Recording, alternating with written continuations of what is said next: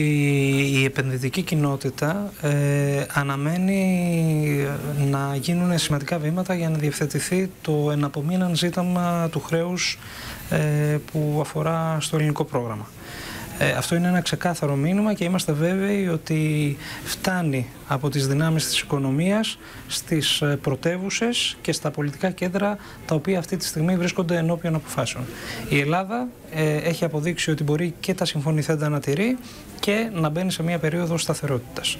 Περιμένουμε και η άλλη πλευρά να πάρει τις αποφάσεις που πρέπει.